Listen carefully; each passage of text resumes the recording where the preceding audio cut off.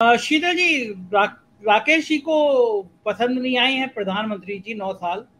कह रहे हैं असफल प्रधानमंत्री रहे और लेकिन एवीपी का दूसरा फैसला आया कि मोदी सरकार ने कड़े फैसले लिए।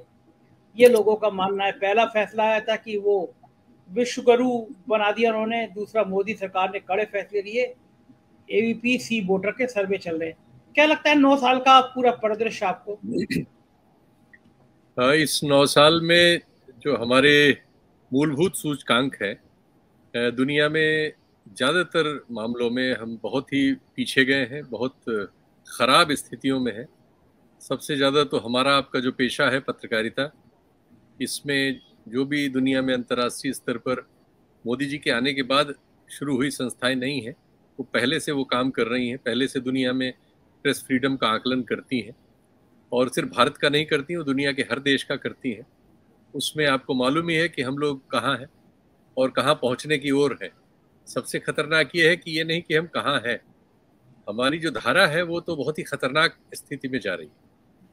आज जब उनके नौवें साल पे हम बात कर रहे हैं तो उस समय उन्नीस विपक्षी दलों ने ये मान के संसद को और उनके कार्यक्रम को लिखा है कि देश में लोकतंत्र के लिए बहुत गंभीर खतरा है।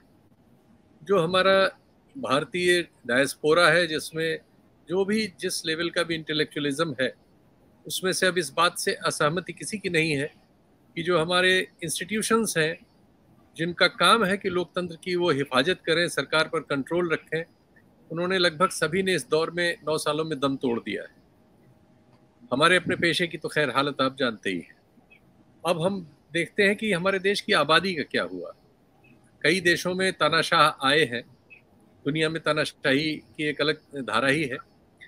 उनमें से बहुत सारे लोगों के साथ कुछ सफलताएँ भी जुड़ी हुई हैं। लेकिन हमारे यहाँ एक बहुत बहुत अजीब समस्या है कि सिर्फ़ एक क्षेत्र में छोड़ के, जिसको आप कह सकते हैं कि ऐसा प्रचार इस देश ने किसी प्रधानमंत्री का न कभी देखा, न सुना, न शायद भविष्य में किसी का देख सुन पाएगा कि जब सारी की सारी सरकार, सारा का सारा कारपोरेट हिस्सा जो सरकार के दबाव में रहता है और विभिन्न राज्य सरकारें जहाँ सरकार के अपनी पार्टी की सरकार है या समझौते की सरकारें हैं, उन सब का सारा का सारा बजट और प्लस कुछ ऐसे बजट जो इसके पहले कभी किसी प्रधानमंत्री के हाथ में नहीं थे, जैसे पीएम केयर फंड है इस समय, ये सब कुछ एक आदमी की एक अजीब सी छवि चमकाने में और उस तरह का सर्वेक्षण करने में जिसका अभी आपने हवाला दिया हम विश्व गुरु हैं, किस बात में विश्व गुरु हैं? हम क्या चीज़ बनाते हैं जिसकी जिसके बिना दुनिया नहीं चल सकती? यदि भारत को आज हम दुनिया के नक्शे से विड्रॉ कर ले तो दुनिया किस चीज़ पे रुक जाएगी जो हमारे भरोसे होगी? विश्व गुरु होने का मतलब क्या है? क्या हमने दर्शन शास्त्र में कोई नया सिद्धांत दे दिया है जिसको दुनिया उसके बिना यूनिवर्सिटीज की पढ़ाई रुक जाएगी? जिसका अगर विकास नहीं होगा? जब हम, हमारा कोई मैन्युफैक्चरिंग नहीं है, हमारी कोई रिसर्च नहीं है हमारी कोई फिलोसफिकल वैल्यू नहीं है, हमारे जो सूचकांक है वो धरातल में है। हम विश्व गुरु हैं या विश्व जोकर हैं? सच्चाई ये है कि दुनिया के सारे जो होशियार देश हैं, जो क्योंकि दुनिया व्यापार से चलती है, दुनिया की मालिक तो मार्केट है। वो जैसा कोई मार्केट वाला करता है कि अगर आपको एक अच्छा ग्राहक समझता है और उसके साथ एक मूर्ख ग्राहक भी समझता है तो आपकी वो ठकुर सुहाती कर देता है। उन ठकुर सुहातियों को अगर आप विश्वगुरु होना बता रहे हैं, हो सकता है हो। अब भारत में समस्या यह है कि अभी एक सर्वे अंजना ओम कश्यप पिछले तीन दिन से चला रही जिसमें उन्होंने ये पूछा है, उनकी बहुत बड़ी फॉलोइंग है, आप जानते हैं क्योंकि वो आज तक में है, बहुत समय से एंकर है, महिला है, सुंदर है तो वो सारे उनके साथ गुण हैं, जिसकी वजह से फॉलोइंग होनी चाहिए और बहुत ज़्यादा उनकी है। उन्होंने एक प्रश्न पूछा कि 19 दलों ने जो संसद के इस कार्यक्रम के, नई संसद के कार्यक्रम के बाइकआउट का फैसला लिया है। इससे आप सहमत हैं, असहमत हैं? तो सहमत में इस समय 69 परसेंट लोग हैं, करीब ढाई लाख लोग ट्विटर पे इस में अब तक भाग ले चुके हैं। अभी ये कार्रवाई चल रही है। और सरकार के पक्ष में सिर्फ़ 31 परसेंट।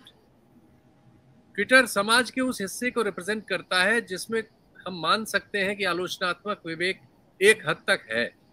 क्योंकि वो, हम उसको अभिजात्य मान सकते हैं, होगा वो अभिजात ही है। लेकिन उन लोगों के पास शिक्षा और आलोचना की रोशनी पहुँची है, ये हमें स्वीकार करना पड़ेगा। तो जिन लोगों के पास ये प्रिविलेज है कि वो अपना एक आलोचनात्मक विवेक रखते हैं, उनमें सरकार समर्थक एक प्रसिद्ध एंकर द्वारा किए गए सर्वेक्षण में यह आ रहा है कि 69 परसेंट लोग इस सरकार को उसके इस फैसले को खारिज कर रहे हैं, जिसे बहुत सारे लोग, लोकतांत्रिक व्यवस्था के लिए खतरा मान रहे हैं। ये उपलब्धि है। मुझे नहीं मालूम कि सर्वेक्षण एबीपी न्यूज़ सी वोटर के साथ जो कर रहा है, उसका पूल कितना बड़ा है।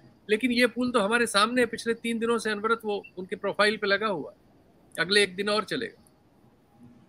तो हम, मुझे तो अब लग रहा है कि कम से कम समाज का वो हिस्सा जो सोच समझ सकता है, जो चीज़ों को जानता है, चूँकि हमारे देश की एक परिस्थिति है, हम एक बहुत ही अर्ध विकसित सामंती, साम्राज्यवादी जकड़न में फंसे हुए देश थे जो पचहत्तर साल पहले आज़ाद हुए थे। और अभी हम बहुत लंबा रास्ता हमें तय करना था, तब हम उन बुराइयों से दूर हो पाते। हम उसके कुछ हद तक हो रहे थे, तब तक ये ब्रेक आ गया। और इसने इतिहास, भूगोल, समाजशास्त्र, धर्मशास्त्र सबको उलट पलट के हमारे सामने रख दिया। और संचार के जो आधुनिक साधन हैं, जो मनुष्य को ज़्यादा विवेकशील बनाते, तार्किक बनाते, प्रश्नवाचक बनाते, उन सब का हरण कर लिया गया और वो प्रतिभा जो पैदा हो सकती थी उसको गर्भ में ही मार दिया गया। और इन सारे टूल्स का इस्तेमाल जनता के विरुद्ध शुरू हो गया। सच्चाई ये है ऑक्सफैम के अनुसार हमारे देश की 50 फ़ीसदी आबादी देश की तीन चार फ़ीसद दौलत पे ज़िंदा है। और एक फ़ीसद लोगों के पास देश की 50 फ़ीसद से ज़्यादा दौलत जा चुकी है। और ये संकेंद्रण बहुत तेज़ी से एक तरफा, यानी उनके पक्ष में जा रहा है जो एक परसेंट है। तो ये सब जो बहुत ही कठोर आंकड़े हमारे सामने हैं। बेरोजगारी ने, अब तो उसकी गिनती करना इस सरकार ने छोड़ दिया। जब उसका पिछला एसएसओ का आंकड़ा आया था, जब बताया गया कि पिछले पचास सालों में इतनी बेरोजगारी की दर कभी नहीं थी। और जो हमारे मुंबई में जो सी e वाले करते हैं, उनके अनुसार अब इस देश में पैंतीस फ़ीसदी काम करने लायक आबादी ने ये मानना ही छोड़ दिया है कि उनको काम मिल सकता है। ये जो परिस्थिति है, ये तो अस्वाभाविक है। इसके आधार पे कोई अपने को, इसके बावजूद कहे कि वो विश्व गुरु पता नहीं क्या हो रहा है। तो मैं उसे विश्व जोकर से अधिक क्या कहूँगा, वो भी एक बड़ा कठोर है जोकर तो फिर भी हंसाता वसाता ही तो रुलाने वाला है। देश में खुशी नहीं है। जो ये जांचने वाला सूचकांक है कि कितने फ़ीसद मनुष्य आपके आबादी में संतोषजनक मस्तिष्क की स्थिति में है, थोड़ा खुश रहते हैं तो हम पा रहे हैं हम सबसे दुखी देशों में से एक। न सिर्फ़ हमारे पास दुनिया की सबसे गरीब आबादी है, बल्कि हम मानसिक रूप से भी सबसे ज़्यादा दुखी लोगों में से एक है। तो ये इन चीज़ों पर कैसे गर्व कोई कर सकता है? सिवाय उसके कि अगर उसको किसी किस्म के दुष्प्रचार का शिकार न बना लिया गया हो, जिसमें हमारी आबादी के एक बहुत बड़े हिस्से को ये प्रचंड प्रचार करके दुष्प्रचार का शिकार बना लिया गया है, और उससे पाई गई जबरन या ठगी हुई सहमति को, सहमति बता के देश पे शासन किया जा रहा है, यही मैं कह पाऊँ